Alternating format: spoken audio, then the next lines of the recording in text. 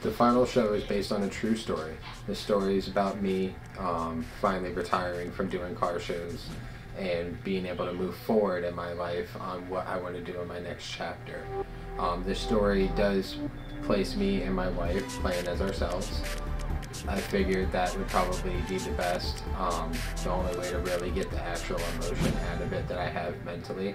And I can take that emotion and be able to put it on camera for everybody to see that, you know, when you have to give something up finally, it's okay.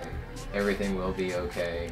And, uh, yeah, so, I mean, just a lot of turmoil and a lot of showing mental health in a way on how something so personal can come down to a level of making you depressed and that having somebody next to you and your family with you can help you move on past it.